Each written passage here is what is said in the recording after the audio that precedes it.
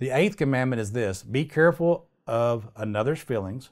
Wit, humor, or a sly remark at another's expense may hurt where it is least expected. There is nothing wrong with joking around and giving people a hard time, but you have to know who the person is and what they can handle. Joking around has to be done with balance. I think we can all understand this because we all know people who can't handle being messed with. In fact, they consider jokes as being cruel and it causes them pain, which is why we need to use good judgment when joking around with others. If they can handle it and it seems like, you know, they have a good time with it, again, then it's okay.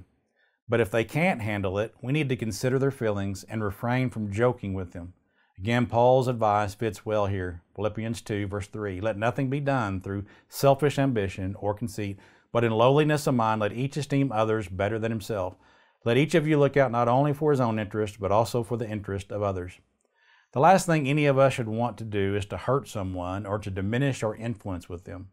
We need to be careful with the words that we use at all times because James tells us that our tongues can create a spark that can burn down an entire forest.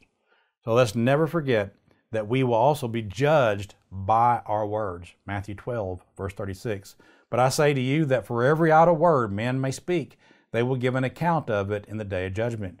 For by your words you will be justified, and by your words you will be condemned. The more we think about what we say and how we say it will help us to get along with others. We must never forget that everyone is different. Some people love to joke around, while others can't stand it.